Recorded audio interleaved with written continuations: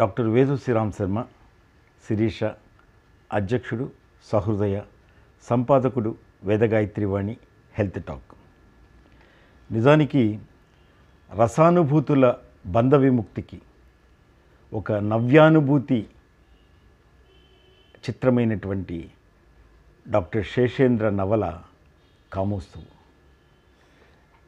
ఈ కామోత్సవ నవల చాలా విశిష్టంగా మనకి అందుబాటులోకి రావడం అది ఒక విశిష్ట వారపత్రికలో ఒక ధారావాహికంగా ఇరవై ఎనిమిది ఎనిమిది పంతొమ్మిది వందల ఎనభై ఏడు నుండి పదకొండు పన్నెండు పంతొమ్మిది వందల ఎనభై ఏడు వరకు ధారావాహికంగా వచ్చినటువంటి ఒక సీరియల్గా వచ్చినటువంటి కామోత్సవం ముప్పై నాలుగేళ్ళ తర్వాత అసలైన రూపంలో.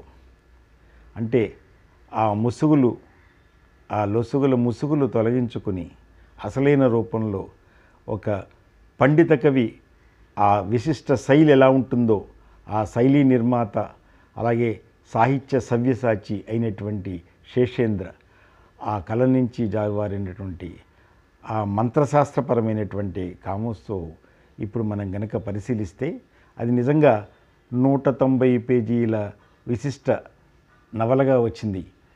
అది నిజం చెప్పాలంటే ఆ పండిత కవి ఒక ఆధునిక పద్యం ఫ్రెంచి మద్యం అని ఈ శతాబ్దం నాదన్నటువంటి శ్రీశ్రీ చేత యుగ కవిగా ప్రస్తుతింపబడినటువంటి విశిష్ట కవి నుంచి వచ్చినటువంటి ఒక విశేష రచన అది కామోత్సవం. నిజానికి భారత సంస్కృతి సంప్రదాయాలకు అది ఏం దూరం కాకుండా అసలైనటువంటి కామోస్తు రసాకృతిని అందిస్తుంది. అయితే నకిలీ అక్షర చిత్రాల్లో కాస్త వికృతం అని అనిపించినటువంటి దాన్ని మనకి ఇప్పుడు ఆ సరైన దృష్టికోణంతో అసలైన రూపాన్ని చూసే చూడడం సాధ్యమైంది వారి పుత్రుడు సాత్యకి ద్వారా. ఆ అసలు నవలను ఆస్వాదించే అవకాశం ఆయన ఇచ్చినందుకు ధన్యవాదాలు చెప్పాలి. ముఖ్యంగా మంత్రశాస్త్రపరమైనటువంటి ఒక రసదృష్టితో శృంగారాన్ని హుందాగా పరిశీలించే శృంగారాన్ని హుందాగా పరిశీలించే ఒక రసమయ సృష్టి కామోత్సవ నవల. అది శేషేంద్ర యొక్క ఆ రసానుభూతికి అద్దం పట్టేటువంటి ఒక విశిష్ట రచన అని చెప్పచ్చు. ఒక మంత్రశాస్త్ర రసయోగంను శృంగార విశేషాల్ని చాలా చిత్రరచనలోనూ విశిష్టమైనటువంటి ఆ సవ్యసాచి శేషేంద్ర హుందాగా అందించారు. పండిత కవి సేముష్ అయినటువంటి డాక్టర్ శేషేంద్ర నుంచి ఈ నవల్ని విశేషంగా అందరూ ఆకాంక్షిస్తారు. అలాగే విలువలునికి ఒక అద్దం పట్టేటువంటిది విశిష్టమైనటువంటి రచనే అన్నది కూడా దానికి విశేషంగా ఉంటుంది. కనుక విలువలు సామాన్యుణ్ణి అసామాన్యుని చేస్తాయి. సంతోష పరమార్థం సంతృప్తిని అందిస్తుంది. మధ్యతరగతి మదనం ఉన్నత వర్గం ఆడంబరాల అరకత్తెరలో పోకచెక్కలేటువంటి ఆ మధ్యతరగతి మనుగడ చిత్రం ఇదంతా కూడా. అంటే ఈ ఉన్నత వర్గం యొక్క ఆడంబరాలు మధ్యతరగతి ఈ అంతర్మథనం ఈ రెండిటి యొక్క సమన్వయంగా కనిపిస్తుంది ఈ నవల. అయితే ఎక్కువ బొంబాయి నగర వర్ణన ఉండడంతో కాస్త ఆధునిక శైలిని అలాగే విలాసాల ఆ సంభాషణ సన్నివేశాలకు తగ్గట్టుగా అంటే ఉన్నత వర్గాలు ఉత్తములన్నటువంటి భుజకీర్తులు శాశ్వతం కాదు. కానీ మధ్యతరగతి ఏదైతే ఉందో మందహాసాల్లో వాటల్లోని వాస్తవాన్ని మనం అర్థం చేసుకుంటే ఆ ఉన్నతుల జీవన శైలి ఇందులో ఉన్నటువంటి హీరో జ్ఞాన్ను ఆ అజ్ఞానం అయినటువంటి ఆ పంద ఎలా ఉంది? అయితే అపకీర్తి ఆ కీర్తి యొక్క విశిష్టత దాని గురించి ఎలాగ ఆ పందా నడిచింది? ఇదంతా కూడా మనకు కనిపించేటువంటి ఈ చిత్రం. ద్వితీయ వర్గం మనోబధనంకు అద్దం పట్టినటువంటి అద్వితీయ నవల ఈ కామోత్సవం.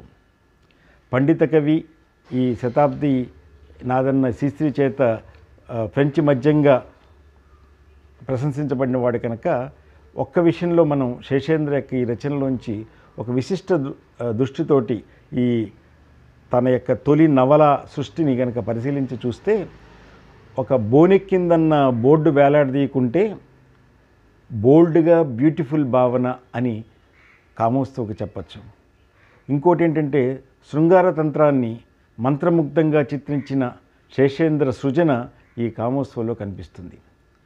ఇంకోటి ఏంటంటే నకిలీ నుంచి అసలు రూపంలో ముప్పై నాలుగేళ్ళ తర్వాత పాఠకుల హృదయపీఠం మీద తీర్పుకి వచ్చి ఒక సంస్కారయుతమైనటువంటి ఒక భావన ముందుపరిచి తనదైనటువంటి ఒక తీర్పు కోసం ఎదురు చూసేటువంటి ఒక ముగ్ధగా కనిపిస్తుంది. కనుక ఇందులో సంస్కారం ఓర్పు కనిపిస్తుంది. అలాగే విచిత్రంగా ఈ మనకు ఉన్నటువంటి ఈ జీవన శైలిలో ఉన్నటువంటి ఒక ఆటుపోటుల యొక్క ఆ మనోవేదన కూడా కనిపిస్తుంది. రజాకారు పుంచిలిక నేరగాథగా అంతరాత్మ కథగా అనిపించిన ఒక మరో దృక్కణంతో మనం కనుక చూస్తే ఈ నవల నిజానికి శేషేంద్రకు ఒక తొలి ప్రయోగమైనటువంటి ఒక విశేషమైనటువంటి ఎందుకంటే ఎంతో లబ్ధప్రతిష్ఠుడు అయినటువంటి సవ్యసాచి అయినటువంటి యుగ కవి నుంచి ఒక విశిష్టమైనటువంటి శైలిలో ఒక రసాధిక మంత్రత నియంత్రత నిమంత్రత అన్నీ కూడా కనిపిస్తాయి ఇందులో.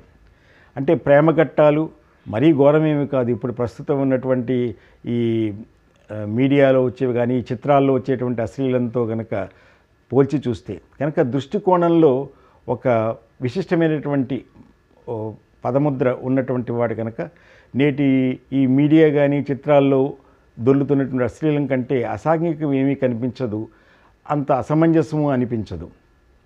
ఇటొచ్చి మనకు ముఖ్యంగా చూసేది ఏంటంటే ఇందులో ప్రధాన పాత్ర జ్ఞాన్ ఈ శృతి మించి అజ్ఞాన్ కృతిగా కావడం కానీ కీర్తి వ్యామోహకాంత కోరికల వికృతంతో అపకీర్తి అపసవ్యం అవ్వడం కానీ ఇందులో కనిపించేది అందుకని మనకి పురుష చతుర్విధ ఫలపురుషార్థాల్లో తృతీయార్థమైనటువంటిది ఈ కామం. కానీ త్రిగుణీకృతంగా ఇందులో కాస్త దీర్ఘ సంభాషణలతోటి రసాత్మక కవితాత్మకమైనటువంటి ఒక వర్ణనతోటి ఉన్న ఇందులో శేషేంద్ర యొక్క విశిష్ట పదం కనిపిస్తుంది. ఆ పదం ఎలా కనిపిస్తుందంటే మనకి ముఖ్యంగా ఆ విశ్లేషణ ఏదైతే ఉందో వైవిధ్య రచనటువంటి ఒక వేడుకని ముఖ్యంగా బాధ్యత రాహిత్యాల్లో ఉన్నటువంటి ఒక నేటి దుస్థితి నుంచి ఒక భద్రతా పదానికి అంటే బడా వర్గాల బాధ్యతారాహిత్యం నుంచి బట్టబయలు చేస్తూనే మనకి బాసటైనటువంటి ఒక మార్గం ఏదైతే ఉందో ఒక సహజమైనటువంటి రసాత్మకత ఏదైతే ఉందో దానికి భరోసా ఇచ్చినట్టుగా కనిపిస్తుంది. కనుక సంపన్నుల జీవన శైలి మధ్యవర్గాల సంఘర్షణ సమర్థవంతంగా చిత్రించినటువంటి ఒక విశిష్టమైనటువంటి ఆధునిక నవలగా కామోత్సవ చెప్పచ్చు. కనుక కవిత్వ రసాత్మకత మంత్ర సూత్రీకరణ చిత్రంగా ఈ కామోత్సవ్ ఒక విశిష్టమైనటువంటి రచగా నిలుస్తుంది. కనుక ఆ జ్ఞానులు అజ్ఞానులు కాకుండా వ్యామోహ కీర్తి వికృతాలు కాకుండా ఒక విశిష్టమైనటువంటి పదచిత్రంగానే మనకి అనిపించేటువంటి ఆ రచన కనుకనే మనం ఎప్పటికి కూడా ఈ అపకీర్తి ప్రేమాగ్ని మంటల్లోంచి కీర్తికి వసంత కౌగిలు అందించినటువంటి జ్ఞానం అజ్ఞానం వికృత కానీయక ఒక పదచిత్రంగా కామోత్సవం చూస్తే అది మనిషి కామనే వస్తువం. అసాధారణ అపసవ్యాలు కానీ రసజ్ఞత ఉంటే అది విజ్ఞతే అవుతుంది. కనుక ఆ విజ్ఞత కోసం ఒక విశేషమైనటువంటి విశ్లేషణగా చూస్తే ఇది కల్చర్కి సోషల్నెస్కి మధ్య సముద్రం లోతుల్ని ఏ ముద్రలో చూడాలి మనం? ఈ రెండిటికి మధ్యలో. అలాగే అభూత కల్పన నుంచి రసానుభూతిని ఏ దృష్టితో మనం చూడాలో తెలిస్తే తృతీయ పరమాత్మైనటువంటి కామం కూడా సార్థకమైనదని గ్రహిస్తాం మనం. కనుక సౌందర్య ఆస్వాదనకి అసాధారణ ఆడంబరాలకి తేడా గుర్తించే సహృదయత ఒక రసస్పర్శని. వర్తమాన వాస్తవాలలో ప్రేమగమ్యం చేరేందుకు ఒంటరి పారటంగా చేసినటువంటి ఈ నవల హీరో జ్ఞాన్ అదే ఆ జ్ఞానాన్ని అజ్ఞానం కాకుండా సత్సంకల్పంగా ఉన్నటువంటి ఒక విశేషత కనిపిస్తుంది. అలాగే దేశీయ సంస్కృతికి దూరం కాని గాలుల్లో శేషేంద్రజాలం పక్షుల్లా ఈ భావజాలం ఒక విశిష్ట ప్రయోగంగానే కనిపిస్తుంది. కనుక కీలకాంశాల ఆలోచన పరిణితికే అసలైనటువంటి రససిద్ధి మణి అందుతుంది అన్నట్టుగాని ఇందులో ఉన్నటువంటి ఆ వచన రచనల కొత్త వాకిళ్ళు తెరిచినటువంటి ఆ విశేషాన్ని గమనిస్తే తప్పకుండా ఆధునిక కాలరేఖ కవిసేనాని రసముద్ర స్వరం డాక్టర్ శేషేంద్ర అనిపిస్తాడు కామోత్సవలో. విశేష శైలి అలంకార శాస్త్రజ్ఞుడిగా కవులు కళలు మనుష్యుల్లో ఫలించాలనుకున్న ఒక పండిత కవి కనుక కాలంకి స్వప్నాలు రాసిస్తానన్నవాడు కనుక కిరాయి నకిలీ ఆ కళల అడ్డంకి గొడ్డలి వేటుని తప్పించుకుని ఒక గోటితో తోసిరాదని ఇప్పుడు అసలైనటువంటి నైతిక సాహిత్యాన్ని పతనం కానిటువంటి సంకల్పాల గీర్వాణిగా కనిపిస్తుంది కామస్తు ఇప్పుడు. కనుక మూలాలకి బస్తీలోకపు ఈ బడాయిల్లోంచి బాధల అంతరంగాన్ని కూడా ఒక స్మృతి విహంగంగా రసతరంగంగా చిత్రించినటువంటి ఒక అపూర్వ నవల కామోస్తు. కనుక కామోస్తువుని మనం అందరూ కూడా విశిష్టంగా కనుక చూడగలిగితే తప్పకుండా ఈ కామోస్తు అందరికీ కూడా ఒక రసచిత్ని అందిస్తుంది. కనుక దీన్ని ప్రత్యేకంగా మన అందరం కూడా పరిశీలిస్తే ఈ కామోస్తువులో ఉన్నటువంటి ఆ రసజ్ఞత కనిపిస్తుంది ఆ విజ్ఞత తెలుస్తుంది. శుభం వ్యాధి డాక్టర్ వేదు శ్రీరామ్ శర్మ శిరీష